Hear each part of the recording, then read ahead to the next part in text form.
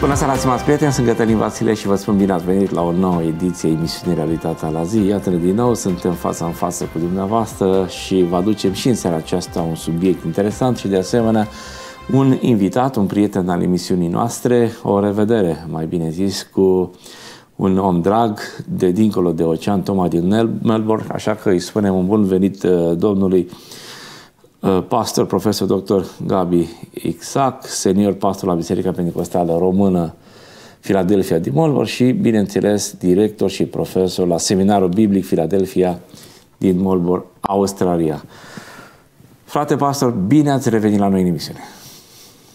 Frate Cătălin, mulțumesc foarte mult pentru această posibilitate pe care ne-o dați, ca din nou să fim împreună cu dumneavoastră, cu colegii dumneavoastră și cu toți cei care urmăresc cu siguranță, cu drag, emisiunea pe care, și nu numai, emisiunile pe care dumneavoastră le realizați la Producenți Media. Dumnezeu pe toți să ne binecuvânteze. Așa să fie și pe dumneavoastră acolo unde Dumnezeu v-a așezat pentru o vreme și uh, aș vrea să vă zic uh, înainte de toate, Hristos a înviat adevărat a înviat și întotdeauna îmi place să răspund cu pe lângă adevărat a înviat, e viu în vecii vecilor. Așa este. Uh, am spus asta pentru că suntem în perioada în care dumneavoastră, cei din diaspora, ați sărbătorit deja învierea Domnului.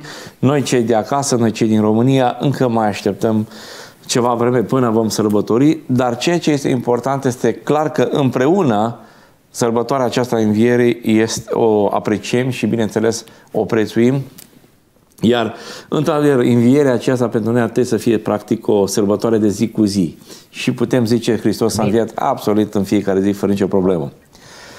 Uh, frate pastor, vă provoc la o temă destul de, uh, de să spunem așa, de pretențioasă, uh, și are legătură cu ceva pe care noi tot încercăm să evităm și anume fake news, știrile false. Uh, suntem înconjurați de știri false, în stânga și dreapta uh, vedem tot felul de zvonuri, de minciuni promovate pe multe canale de, de media și în perioada aceasta a învierii ne aducem aminte de alte știri false care au circulat chiar în perioada învierii Domnului Hristos. Mai exact, după înviere, și știri care s-au propagat până în zilele noastre și aceste informații false sunt cu privire la învierea Domnului nostru Isus Hristos. Așa că titlul nostru de astăzi, tema noastră de astăzi, se ocupă de aceste false teorii cu privire la învierea Mântuitorului nostru.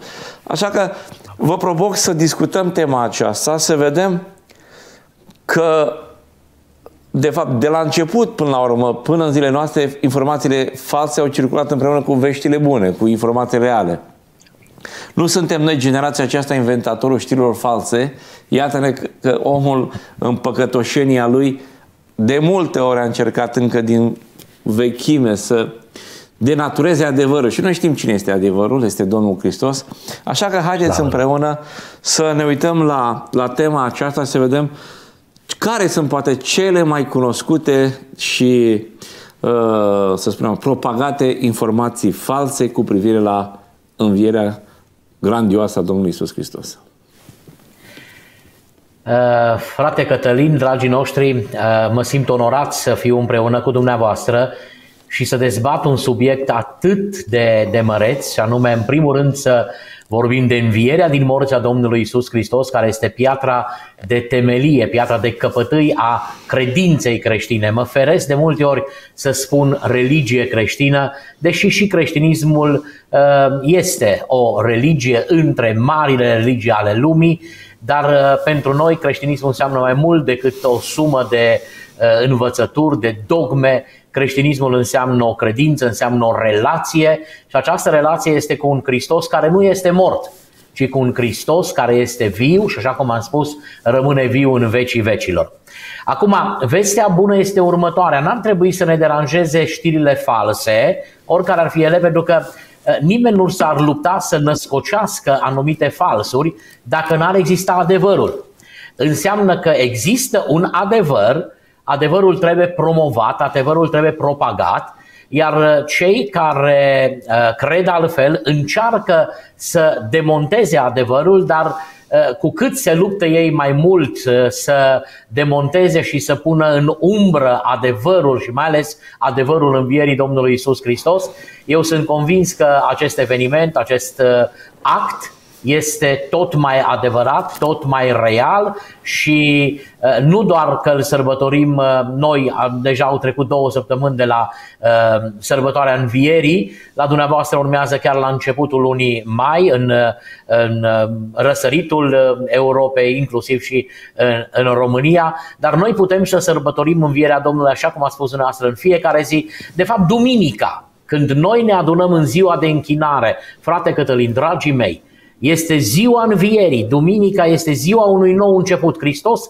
a înviat a opta zi, cea din tâia săptămânii, cu uh, un nou mesaj și El este pârga celor adormiți, așa cum spune Sfântul Apostol uh, Pavel.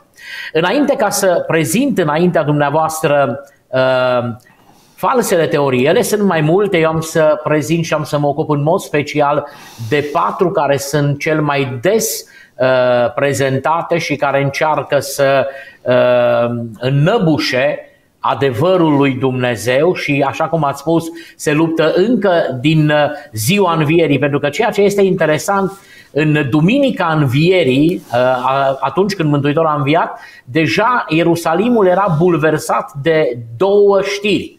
Una adevărată și una fake, una falsă. Și uh, dacă ucenicii erau aceia care deja vorbeau și spuneau a înviat Domnul cu adevărat și Domnul a început să se arate și s-a arătat de câteva ori, chiar în prima zi a învierii, mă refer aici la duminică, iată că uh, marii preoți n-au stat nici ei prea mult și uh, au uh, început să propage uh, minciuna aceea falsa teorie încă de atunci și deja pe ulițele Ierusalimului deja circulau aceste două știri. Hristos a înviat și a doua, ucenicii au venit să uh, fure uh, trupul și au propagat după aceea uh, învierea Domnului. O să discutăm un pic despre, uh, o să prezint de fapt înaintea dumneavoastră și înaintea uh, tuturor celor ce urmăresc această emisiune toate teoriile care circulă, sunt mai multe, dar am spus asupra uh, a patru teorii aș vrea și, bineînțeles, cu permisiunea noastră să și demontăm teoriile acestea și să lăsăm să strălucească adevărul lui Dumnezeu care rămâne în picioare și ca, în care nu este absolut deloc niciun pic de minciună și anume Hristos a înviat și este viu în vecii vecilor. Acum, întrebarea care se pune, de ce atâta luptă împotriva învierii din morța Domnului Isus Hristos?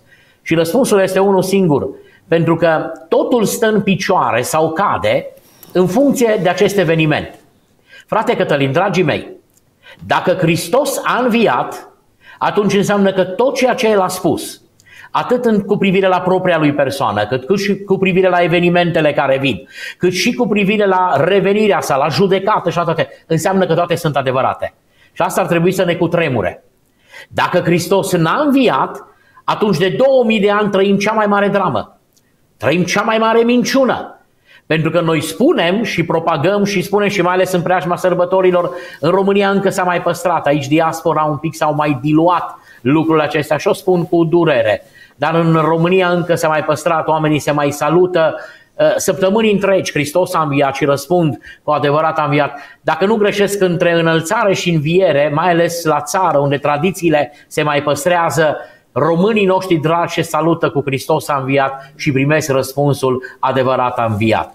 Uh, iată, aici la noi lucrurile sunt un pic diferite. Dar dacă Hristos n-a înviat, atunci și salutul acesta. Știți ce spune Apostolul Pavel în 1 Corinteni, în capitolul 15? Uh, spune așa, dacă n-a înviat Hristos, versetul 14, propovăduirea noastră este zadarnică. Înseamnă că și toate epistolele care le avem scrise și evangheliile, toate cele 27 de cărți uh, nou testamentare, canonul Noului Testament e zero. Înseamnă că nu are niciun sens. Propovăduirea noastră este zadarnică și zadarnică este și credința noastră. Păi dar credința noastră e bazată pe învierea din morți și pe scripturile Noului Testament. Apoi, ă, va mai mult, zice Apostolul, noi suntem descoperiți martori mincinoși al lui Dumnezeu, pentru că am mărturisit că Hristos a înviat. Apoi, versetul 17, dacă n-a înviat Hristos, credința voastră este zadarnică. Și aici este iarăși, voi sunteți încă în păcatele voastre și prin urmare și cei ce au adormit în Hristos. Vă dați seama, Pavel scrie 1 Corinteni în jurul anilor 50 55 Um, oameni care au crezut 3.000 la Rusalii și apoi alți 5.000 și apoi se spune că biserica din Antiochia Siriei număra, biserica care îl uh, ordinează pe Apostolul Pavel, număra în viacul apostolic 80.000 de creștini, de credincioși. Uh, vă dați seama, toți aceștia efectiv și alții au murit, alții și-au încheiat alergarea, a începuse martirajul deja înseamnă că toți au murit degeaba, pentru că uh, au murit cu gândul că Hristos a murit și a înviat și că va fi o înviere, dar dacă nu este înviere și dacă n-a înviat Iisus Hristos, atunci totul este zadarnic.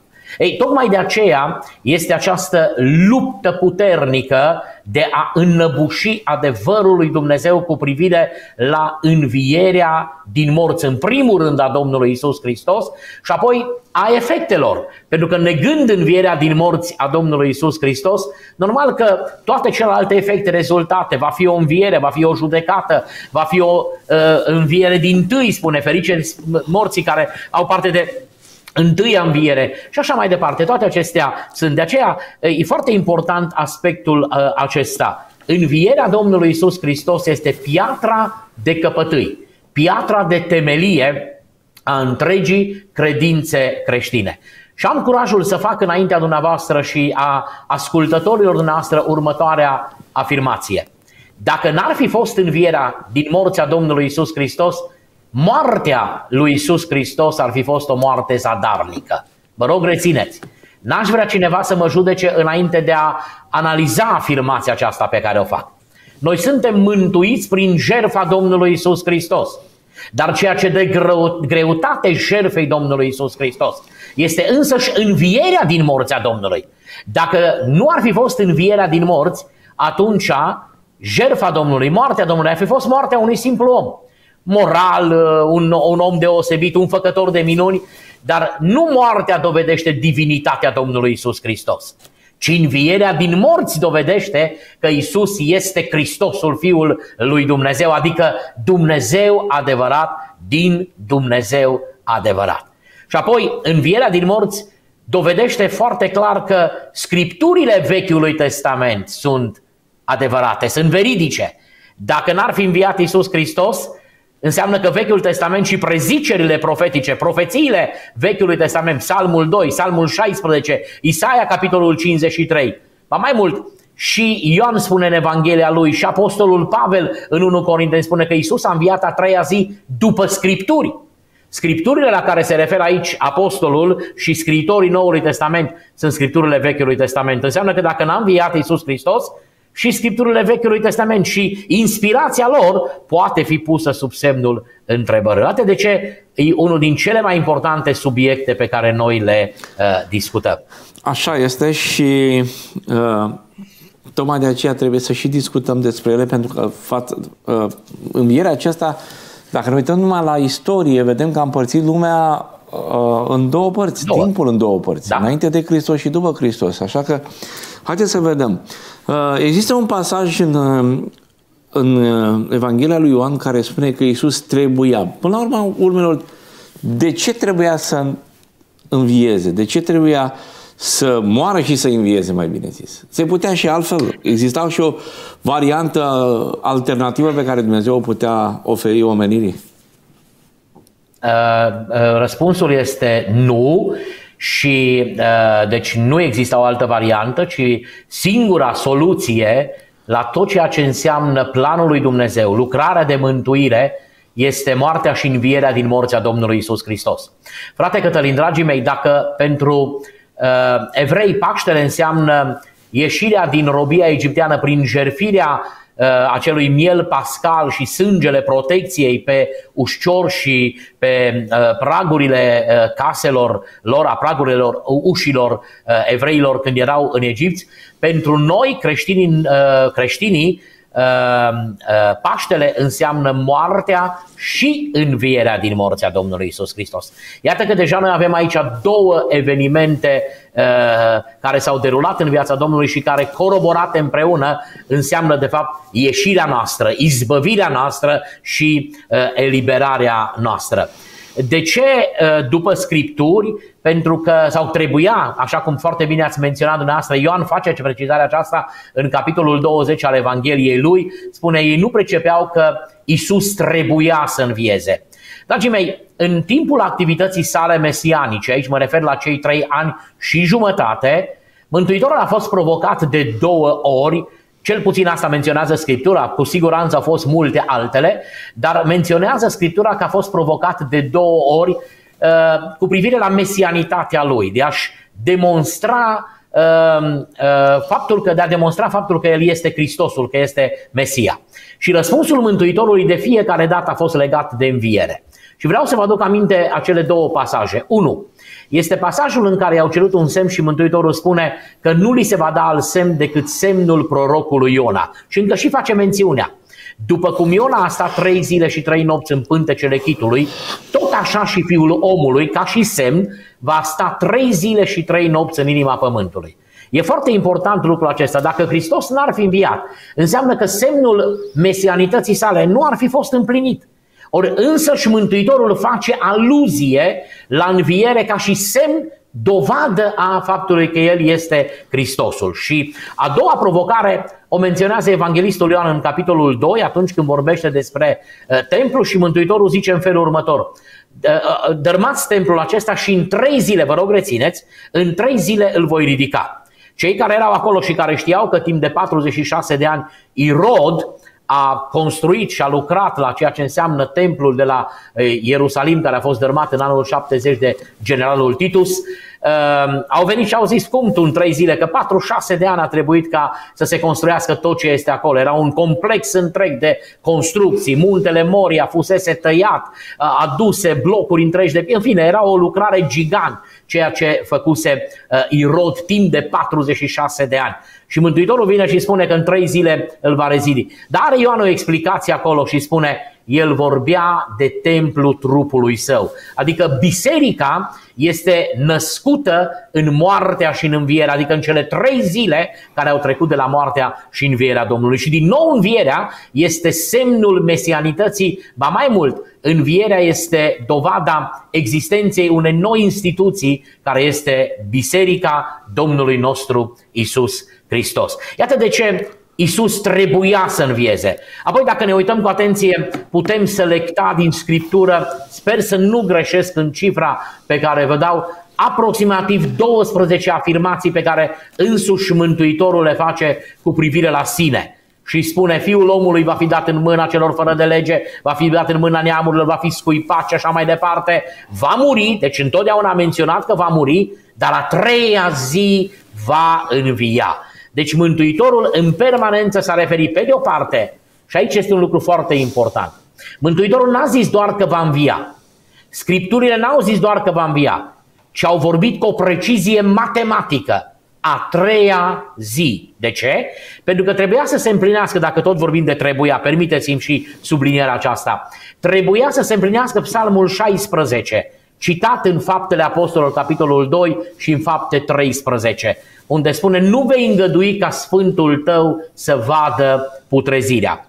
Frate Cătălin, eu nu am studii de medicină, nu sunt uh, uh, medic, doctor, am citit doar ca să mă informez, să mă documentez și am găsit scris că o moarte obișnuită, să zicem așa, deci nu de anumite boli care pot să uh, aducă o descompunere mai rapidă a trupului, dar într-o moarte obișnuită, să zic, uh, starea omului care a murit sau trupul care a, intrat, care a murit intră în putrefacție a patra zi.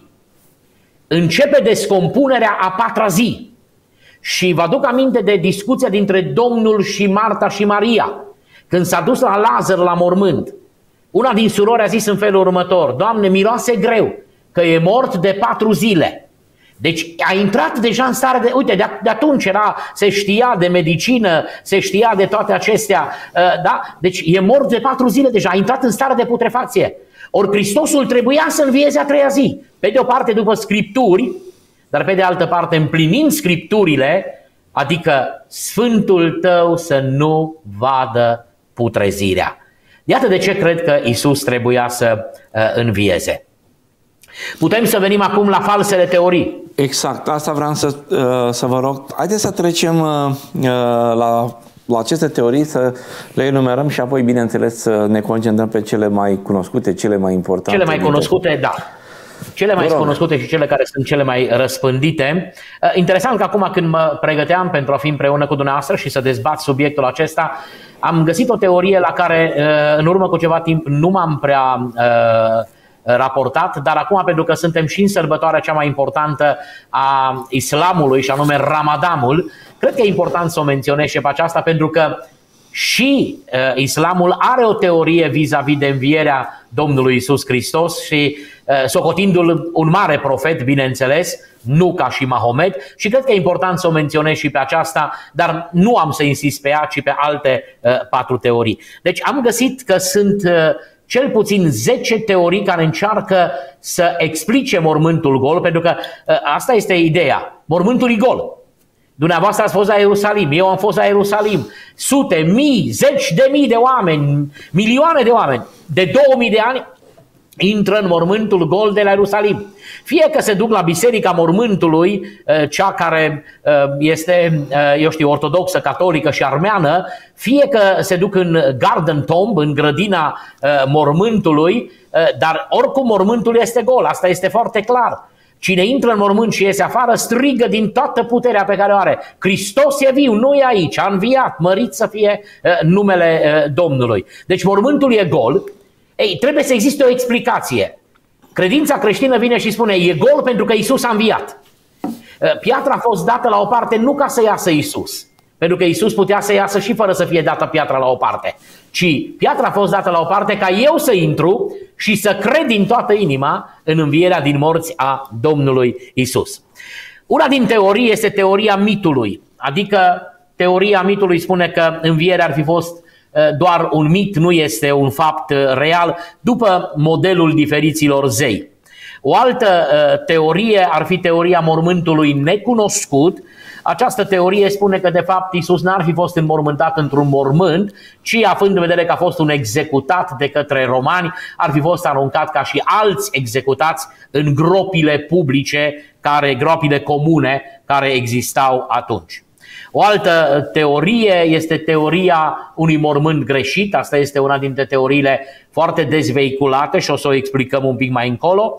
Alții vorbesc despre o teorie a legendei, că de fapt totul ar fi numai uh, o, o legendă și că nu este nimic uh, real. Alții vorbesc de o teorie a învierii spirituale, este foarte mult acceptată învierea spirituală de către gruparea martorilor lui Jehova, faptul că nu există o înviere a trupului, ci doar o înviere uh, spirituală și că de fapt asta ar fi fost uh, învierea Domnului.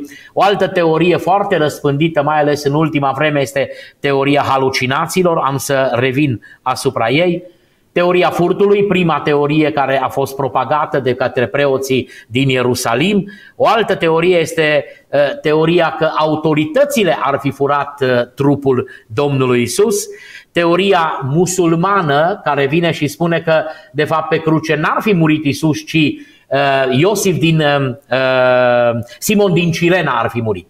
Simon din Cirena a fost substituit, a fost cel care l-a substituit pe Domnul Isus pentru că Dumnezeu Tatăl și-a salvat profetul în ultima clipă de la o moarte umilitoare. Asta este teoria musulmană. Am găsit-o acum când mă pregăteam mai bine pentru subiectul acesta, pentru a fi împreună cu dumneavoastră și cu cei care urmăresc uh, emisiunea dumneavoastră și cred că este important să o menționăm, mai ales că uh, este și perioada aceasta sărbătorii. Și apoi o altă teorie, cea de-a 10, ar fi teoria resuscitării sau teoria leșinului și pe aceasta o să o explic înaintea uh, dumneavoastră. Deci, în mod deosebit, sunt patru teorii false care vin să explice mormântul gol de la Ierusalim.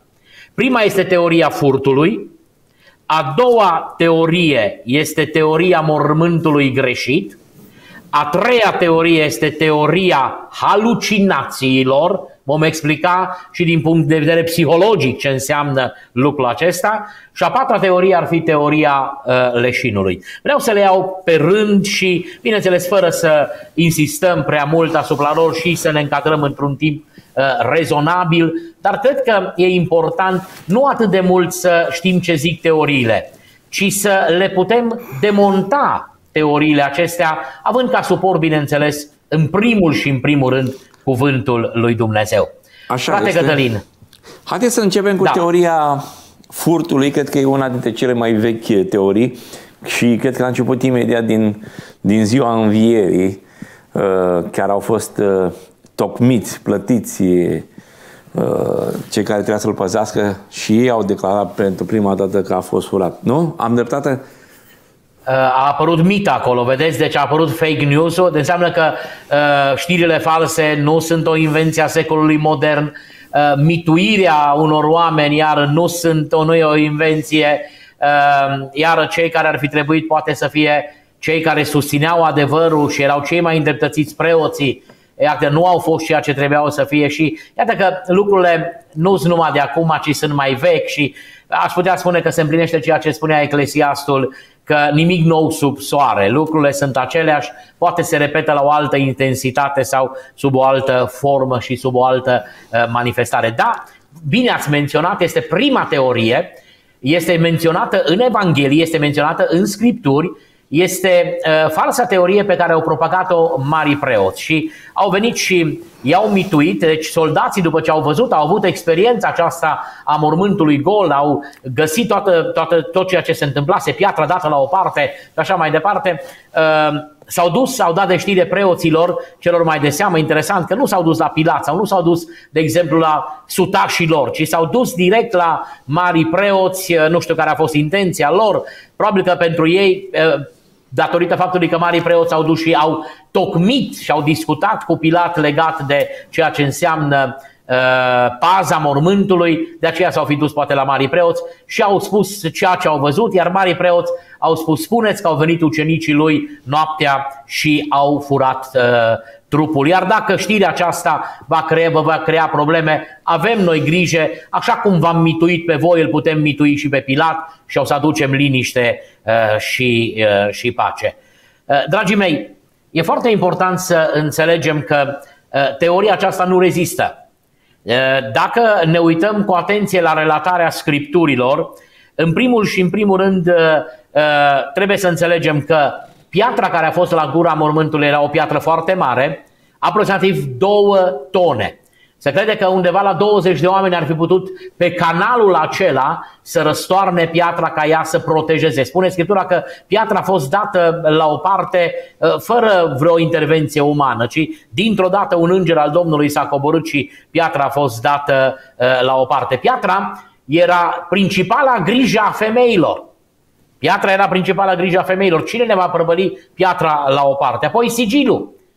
Ne spune foarte clar și este descrierea în Matei, în capitolul 28. Singurul pasaj care descrie teoria aceasta a furtului este pasajul din Matei, din capitolul 28. Matei scrie în special evreilor Evanghelia lui și tocmai de aceea vine și prezintă pe de o parte învierea, prezintă și teoria aceasta, dar o demontează prin arătările Domnului Isus Hristos și relatările care uh, sunt menționate acolo în, uh, în Evanghelie. Sigiliu roman, piatra aceea a fost sigilată, ori ruperea unui sigiliu însemna moarte. Ori toate lucrurile acestea, uh, soldații de acolo știau foarte bine ceea ce îi așteaptă. Uh, straja nu era un singur soldat, era o strajă întreagă, erau soldații care, care străjuiau acolo și care păzeau uh, mormântul acela. De aceea uh, nu putea să fie teoria, teoria aceasta furtului, a faptului că au venit ucenicii. Și acum, haideți să fie așa un, un, un lucru, o vorbă între noi. De unde au știut ei că uh, au venit ucenicii dacă dormeau? Așa spune. Pe când dormeam noi, au venit ucenicii și au furat trupul. Dar de unde știi tu cine a venit, când a venit, cum a venit, dacă dormeai? E și o chestie rațională, și o chestie logică, dar vedeți dumneavoastră, se pare că uneori minciuna prinde mai ușor decât adevărul și unii se agață de minciună. Uh, frate Cătălin, ai fost în Israel și uh, probabil că conexiile pe care le-ai avut au fost mai degrabă cu creștinii, cu evrei mesianici, cu creștinii care cred în învierea lui Yeshua Hamashia. Eu am avut tangențe și cu evrei care nu cred în Yeshua Hamashia. Și în momentul în care am vorbit despre învierea Domnului, știți că și acum, după 2000 de ani, ei îmbrățișează teoria furtului și merg pe teoria propagată în zilele învierii, în ziua învierii eh, de către marii preoți și spun au venit ucenicii și au furat trupul. Foarte interesant cum de 2000 de ani ea rezistă și stă în picioare propagată atunci ca o minciună și iată că și astăzi ea este susținută și mai ales de evrei. Și tocmai asta îi împiedică să creadă că Isus este Hristosul Fiului Dumnezeu, îmbrățișând teoria aceasta a, a, a furtului. Mai este o mențiune foarte interesantă aici care trebuie să o fac și care vine să demonteze teoria aceasta uh, a, a furtului. Acum, dacă ucenicii ar fi venit să-l fure, ei l-ar fi luat așa cum este, în seara, acolo cum ar fi fost, uh, în, în, înfășat în giulgiul acela, ștergarul care era pus, efectele înmormântării nu le-ar fi lăsat acolo. Dar evanghelistul Ioan menționează în Evanghelia lui și el spune în felul următor, iar fac o precizare, Ioan este cel care scrie ultimul Evanghelia, în jurul anilor 100. El avea deja acces la Evanghelia lui Marco, Evanghelia lui Matei și Evanghelia lui Luca. Ei, și-a dat seama că și Matei și Marcu și Luca n-au scris despre lucrul acesta, deși toți trei știau, mai ales că Marcu era scribul lui Petru. Și atunci Petru intrase în mormânt. Ioan relatează mă, lucrul acesta. Ce spune Ioan în capitolul 20? Spune așa. Simon Petru care venea după el a ajuns și el a intrat în mormânt și a văzut fâșile de pânză jos deci toate fânșile acelea în, în, înfășurate și îmbibate cu 100 de litri de aloie care se uh, uh, face solidă, se solidifică dintr-o dată în contact cu pânza, ea devine ca o mumie, ca o carcasă care înfășoară și strânge tot mai bine trupul. Asta e procesul de înhumare Așa, iar ștergarul care fusese pus pe capul lui Isus nu era cu fâșiile de pânză, ci făcut sul. Înseamnă că uh, a fost și un timp de aranjare a lucrurilor, făcut sul și pus într-un alt loc singur. Știți ce sunt uh, fâșile de pânză și ștergarul de pe capul lui Isus? Martori tăcuți ai învierii lui Isus Hristos. Există martori oculari, există martori de după înviere și înălțare, dar există și martori tăcuți piatra dată la o parte, fâșile de pânză care erau jos în mormânt, ștergarul făcut sul, aranjat frumos, ca și cum cineva fi avut timp, era pus acolo la capul unde stătea Isus pe piatra aceea. Deci toate acestea vin să demonteze teoria furtului. Ucenicii n-au venit noaptea, ucenicii nici măcar n-au crezut în înviere. Noi am sărbătorit duminica aceasta, Duminica Tomii. Mesajul pe care l-am adus în fața bisericii a fost acesta. Toma de trei ori a zis dacă nu, dacă nu, dacă nu și a spus nu voi crede. Dacă nu voi vedea, dacă nu voi pune degetul și dacă nu voi pune mâna, nu voi crede. Iar după aceea, a opta zi când s-a întâlnit personal cu Domnul, a strigat din toată inima, Domnul meu și Dumnezeul meu. Un ucenic care n-a crezut, ucenici care n-au crezut, triști, confuși, împrăștiați în stânga și în dreapta, plângăreți în grădina mormântului. Și toate lucrurile acestea s-au schimbat într-un mod cu totul și cu totul uh, radical. Aș mai vrea să citesc un lucru uh, pe care l-a scris unul din părinții uh, bisericești. Este vorba de uh, Eusebio de Cezarea, cel care scrie uh, o, o, mai, multe, mai multe tratate de, de religie uh, și are în cartea sa Demonstratio Evangelica, uh, combate teoria furtului folosind un discurs satiric imaginar pe care ucenicii l-ar fi rostit. Și permiteți-mi să vi-l citesc. Haideți să ne adunăm și să inventăm toate minunile și aparițiile de după înviere pe care noi nu le-am văzut niciodată și haideți să susținem înșelătoria aceasta până la moarte. De ce să murim degeaba? De ce să nu ne placă torturile și biciurile aplicate fără niciun motiv îndreptățit? Haideți să mergem la toate popoarele și să le răsturnăm instituțiile și să le denunțăm zeii și chiar dacă nu convingem pe nimeni, cel puțin vom avea satisfacția de a atrage asupra noastră pedeapsa prin înșelătoria noastră, spune Eusebio de Cezarea, ironic la teoria aceasta a furtului.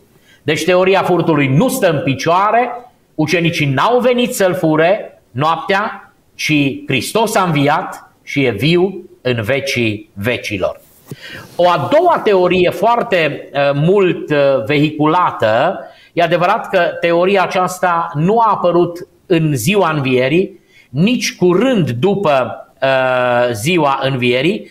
Uh, teoria a apărut un pic mai, uh, mai uh, târziu și anume uh, faptul că uh, femeile s-ar fi dus la un mormânt uh, greșit. Este teoria care a fost uh, enunțată de profesorul Kilsop Lake.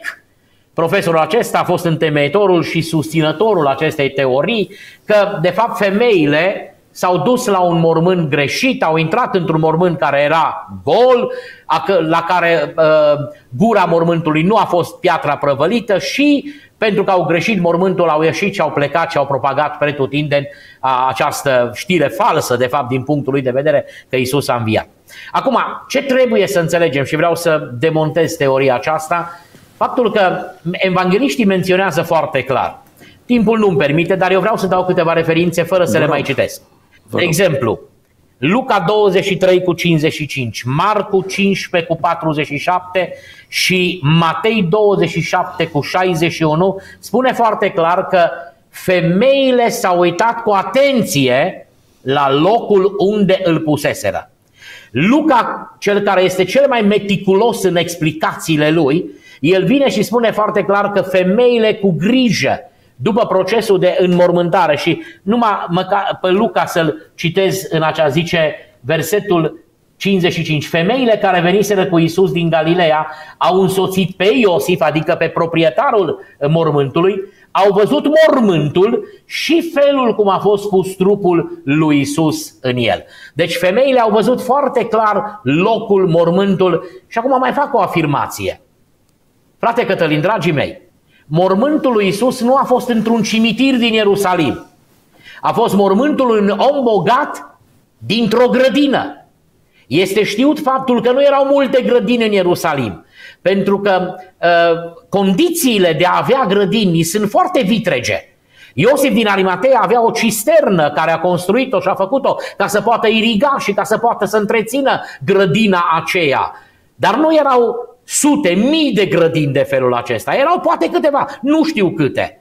Dar oricum ceea ce trebuie să menționez este că locul în care l-au mormântat pe Domnul Isus Hristos nu a fost un cimitir în care să te pierzi în multitudinea. N-a fost cimitirul de pe muntele Măslinilor unde sunt uh, zeci de mii poate, da? se pare până la 50 de mii de, de, de, de morți înmormântați acolo. Și a fost un loc singur, într-o grădină, deci puțin probabil ca să greșești locul și să mergi, eu știu, haotic în altă parte uh, și să te duci în, în, în alt loc. Ci explicația pe care trebuie să o dăm la faptul că mormântul e gol este că Isus Hristos a înviat și e viu în vecii vecilor și îl binecuvântez și în această seară cu ocazia acestei uh, emisiuni. Apoi uh, avem tot aici la teoria mormântului greșit, avem mărturia îngerilor. Îngerii să știți că au fost foarte preciși, foarte punctuali. Le-au zis la un moment femeilor, zice, veniți de vedeți locul unde zăcea.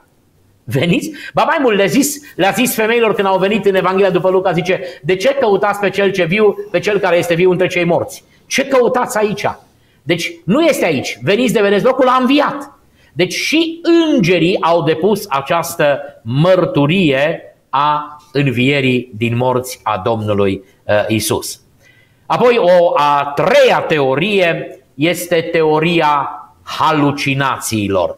Uh, ce spune teoria aceasta a halucinațiilor? Spune că atât de mult și-au dorit femeile să se întâlnească și să-L vadă pe Isus din nou după răstignirea sa, după moartea sa și îngroparea sa, încât după trei zile au avut o vedenie, au avut doar impresia că îl văd, halucinație, haide să numesc. Dar m-am uitat în dicționarul explicativ al limbii române și ascultați uh, ceea ce spune dicționarul explicativ. Halucinația este o tulburare psihică constând în perceperea unui obiect sau unui fenomen fără ca acesta să existe în realitate. Asta este o halucinație. Iar ceea ce demonstrează psihologia, spune că psihologia a demonstrat de fapt că halucinațiile de obicei le au doar persoane paranoice sau schizofrenice, halucinațiile sunt legate de regulă de subconștient și în special de experiențe din trecut, nu experiențe prezente și alucinațiile, și aici este foarte important, aici este de fapt demontarea acestei teorii. Halucinațiile sunt fenomene individuale pe care una, maxim două sau poate foarte puține persoane le pot avea, dar de regulă o singură persoană poate să aibă halucinația respectivă. Ori, frate Cătălin, dragii mei, eu îl văd pe Dumnezeu care în preștiința lui a pregătit toate răspunsurile care vin să demonteze toate teoriile. Eu am citat înainte, prezentat înaintea dumneavoastră în studiul acesta 10 uh, teorii care, care, care circulă, din care 4 sunt cel mai frecvent uh, uzate, folosite. Dar Dumnezeu, în preștiința Lui, a pregătit terenul pentru a demonta oricare dintre teorii. Știți ce spune Apostolul Pavel la un moment dat în 1 Corinteni, în capitolul 15? Spune că după ce a înviat Iisus Hristos, după Scriptura a treia zi, s-a arătat lui Chifa, apoi celor 12, acum celor 12 este un termen generic, ei nu mai erau 12, erau 11, dar este generic pentru grupul ucenicilor și am putea spune s-a arătat grupului ucenicilor, apoi zice s-a arătat la 500 de frați deodată, vă rog, nu s-a arătat la 500 în 500, nici n-a fost 500 de zile, ca să însemna un an și ceva, el a mai fost 40 de zile. Dar e clară mențiunea aceasta. Nu mă întrebați unde s-a arătat la 500 deodată, nu mă întrebați de unde a adunat 500 de frazi deodată. Dar eu cred Scriptura așa cum este scrisă. Și dacă scrie în Scriptură sub inspirația Duhului Sfânt că s-a arătat la 500 de frazi deodată, cred din toată inima că s-a arătat la 500 deodată, din care spune Apostolul, dacă vreți să mă verificați, cei mai mulți sunt încă în viață.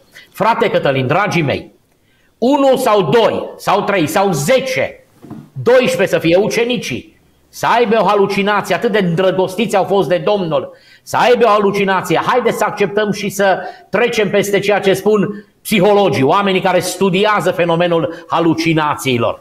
Dar 500 de oameni să-L vadă viu pe Iisus Hristos este puțin probabil. Tocmai de aceea, teoria halucinațiilor nu stă în picioare. Și răspunsul la mormântul gol nu sunt halucinațiile, ci răspunsul la mormântul gol e unul singur. Hristos a înviat. E viu în vecii vecilor. Și a patra teorie, cu permisiunea dumneavoastră, Vă rog. a patra teorie este teoria leșinului. Ce spune teoria aceasta? Și această teorie, să știți că nu este foarte veche, este o teorie, o teorie Uh, mai, uh, mai uh, recentă. Mi-am și notat aici teoria leșinului a fost formulată inițial de un anume Venturini. Venturini și este foarte descitat în zilele noastre de astăzi ce afirmă teoria aceasta.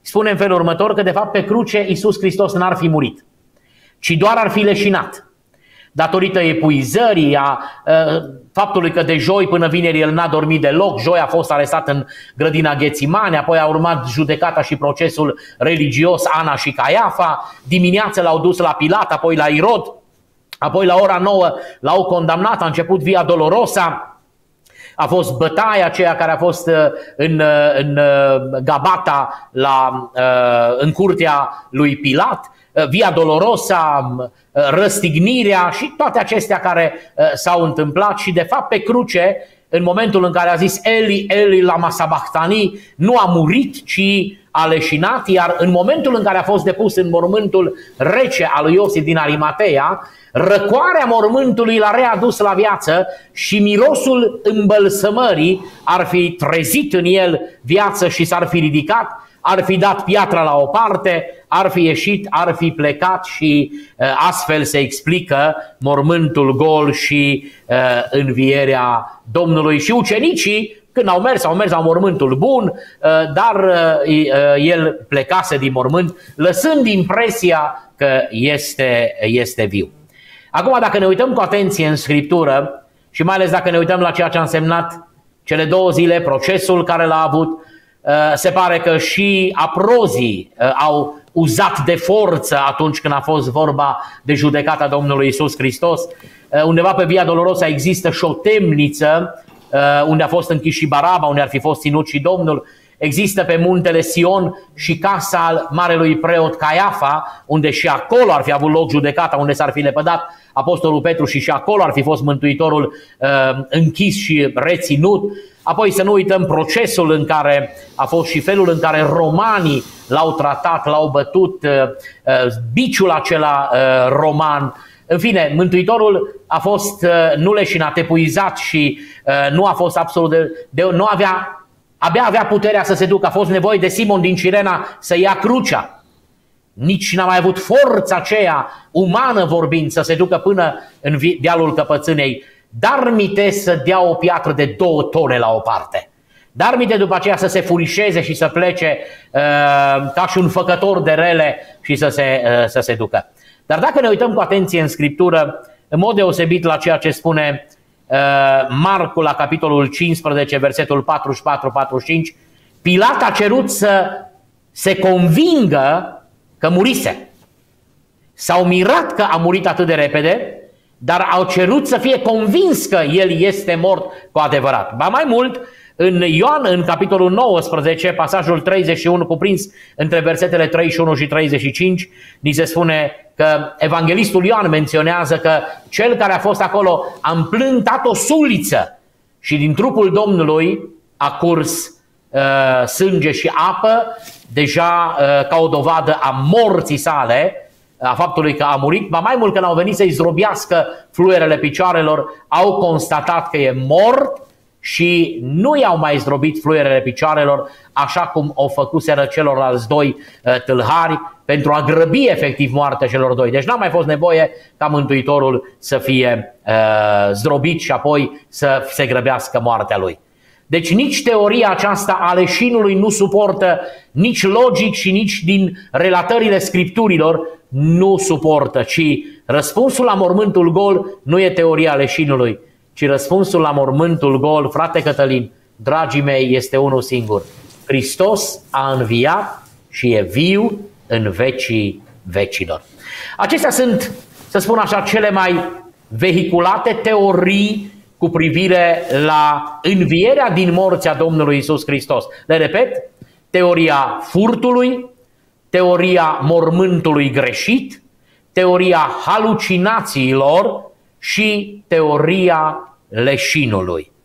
Și Mântuitorul în cele 40 de zile a demonstrat ucenicilor săi că este viu, a mâncat cu ei, a vorbit cu ei, a stat cu ei, i-a echipat pentru lucrarea care aveau să o facă, dovedind fără drepte tăgadă că este viu în vecii vecilor. Binecuvântat să fie numele Domnului. Slavă Domnului, slavă Domnului, frate Gabi. Există un uh, verset în Sfânta Scriptură că, în care spune fericit de cei ce n-au văzut și au crezut. Și au crezut, amin, da. Noi Aici suntem, printre aceia, noi suntem printre aceia care nu l-au văzut pe Domnul Hristos, nici înainte de înviere, nici după înviere, dar noi am crezut doar prin ceea ce Dumnezeu ne-a descoperit în Sfânta Scriptură, prin experiența noastră personală cu Dumnezeu și mai ales Amin. prin uh, învățătura aceasta, prin adevărul acesta care a trecut de-a lungul celor 2000 de ani până în zilele noastre și slavă Domnului. Iată că au fost oameni care, deși l-au văzut față în față, deși au stat la masă cu Domnul Hristos, nu s-au întors la Dumnezeu. Mi-aduc aminte dintre cei care au mâncat din, uh, din peștii aceia și din pâinea aceea mulțită. Mă, mă întreb, oare toți la urma pe Domnul Hristos, toți au devenit creștini? Cu siguranță nu. Dar nu. nu. Dar noi, și asta nu este meritul nostru, acum să nu ne credem noi că suntem cineva și că avem ceva deosebit. Faptul că am crezut este numai lucrarea lui Dumnezeu și uh, lucrarea Duhului Sfânt care ne-a descoperit, ne-a luat vărul acela. Vorbeați foarte mult. Știți că uh, comunitatea mesianică cu care noi suntem prieteni și ne întâlnim des acolo când mergem în Israel, abia aștept să revin în Israel, să știți, da. e o dorință inimii mele. Uh, e deja, cum să spun, de-a noastră, credem, știm exact. Uh, comunitatea cealaltă a, a evreilor seculari, chiar și a evreilor care sunt uh, ortodoxi, da? evrei ortodoxi, au o mare rezervă și teoriile acestea să știți că se aud. Iar teoria furtului, într-adevăr, este cea mai cunoscută teorie care, din păcate, și încă astăzi uh, este prezentă în mijlocul nostru.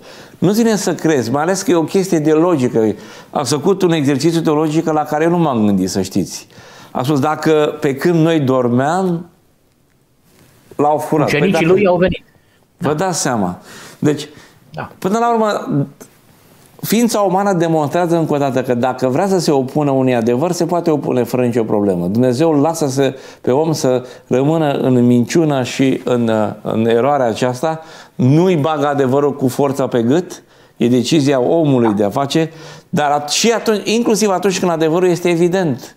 Când minciuna se vede de la mare distanță, dacă omul decide să creadă o minciună, este alegerea lui și Dumnezeu îl lasă uh, în autoritatea lui, îl lasă să creadă ce vrea, ce vrea omul. Da? Slavă Domnului că împreună cu dumneavoastră uh, am descoperit pentru cei care nu știau aceste teorii, pentru cei care le mai auziseră parțial, acum avem o, o părere, să spunem așa, o viziune completă a celor mai cunoscute teorii și de asemenea Bineînțeles, pentru cei care credem deja, este o, o, această discuție cu dumneavoastră este o, o întărire, o încurajare că ceea ce am crezut se adeverește și din punct de vedere științific și din punct de vedere al psihologilor. Deci, practic, sunt multe și multe argumente care vin în favoarea acea, aceasta.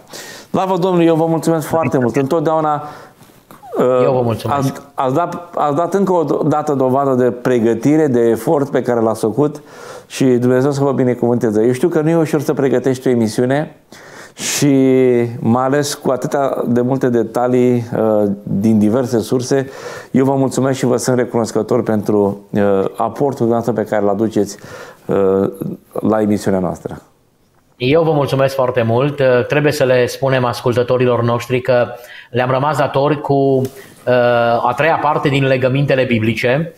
O să ne pregătim cât mai curând și o să discutăm de legământul Davidic și legământul cel nou într-o emisiune viitoare și ne vom ține de cuvânt pentru că am promis și tot ce începe duce la bun sfârșit. Am vorbit de legămintele celelalte, trebuie să finalizăm și aceste ultime două legăminte. Dar apropo de teorii vis-a-vis de învierea Domnului și vedeți, Dumnezeu are un singur adevăr. Adevărul e unul singur, Hristos a înviat. Minciuna, diavolul încearcă să, fal, să falsifice adevărul, să-l atace și fabrică tot felul de teorii. Sunt cel puțin 10. 10 teorii contra un singur adevăr. Adevărul nu are nevoie, nu există adevărul 1, adevărul 2. În, în lumea în care noi trăim, care este lumea postmodernă, o lumea relativismului, acum nu mai există adevăr absolut. Ori Dumnezeu lucrează numai cu adevăr absolut. Dumnezeu vine și ne spune, acesta este adevărul. Dacă vrei să-l crezi bine, dacă nu e treaba ta, dar adevărul este unul singur. Hristos a înviat, e viu și nu mai moare niciodată. De aici cur toate harurile. Diavolul din zorii învierii Domnului și în continuare se va lupta și probabil că dacă facem anul viitor iarăși o emisiune pe tema aceasta a falselor teorii, probabil că vorbim de 11 teorii sau probabil că vorbim de 12, dar vom vorbi de un singur adevăr din partea lui Dumnezeu. Hristos a înviat. Atât.